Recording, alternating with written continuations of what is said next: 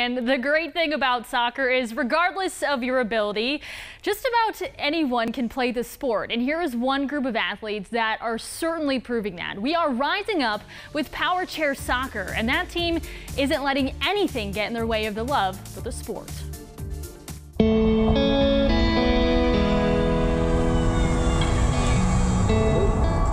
When I became a wheelchair user, I just thought I wasn't going to be an athlete anymore. That part of my life was was gone. But when I came across Power Soccer, I, it just completely turned my life around.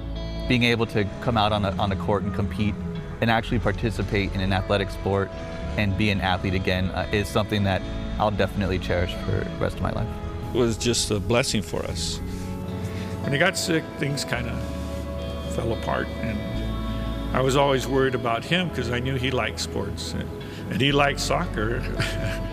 Gabe Trujillo was 14 years old when he got sick and lost his ability to move his arms and legs.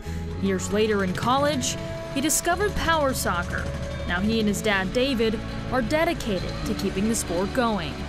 There's no poor me in this, uh, and that's the other thing.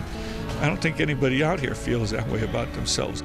These are athletes who play to win games, play to win medals, play to win championships just like every able-bodied athlete out there. Um, it's not just for athletes with disabilities. Those who love soccer will fall in love with this sport as a spectator as well.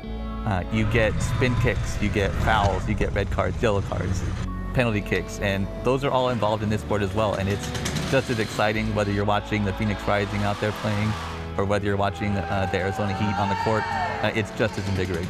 And it showed me that athletes come in all shapes and sizes and abilities, and from that moment on, I've decided to play and become an athlete. Now, Gabe is actually our senior digital video producer here at Channel 12, and he and his dad, David, run the team called the Arizona Heat, and they are seriously good guys.